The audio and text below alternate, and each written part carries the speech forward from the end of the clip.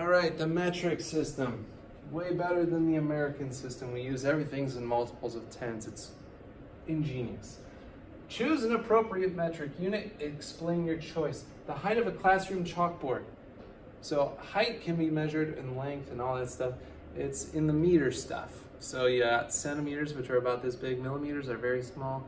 Uh, decimeters, you don't really use those.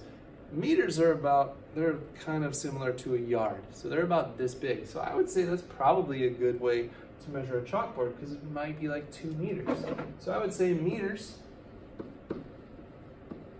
Uh, and why?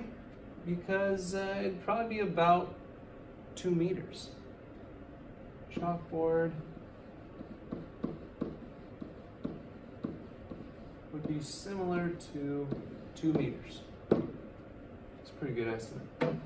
The mass of a backpack filled with books. So backpack weight is like grams, right? So a gram is like a paper clip or something small like that.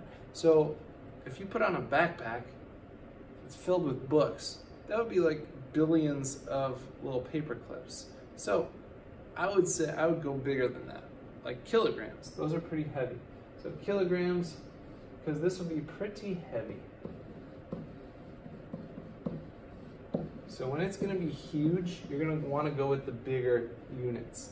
And then the capacity of a bird bath. So bird bath, well, liquids can be measured in liters, right? So think of like a two liter bottle of pop.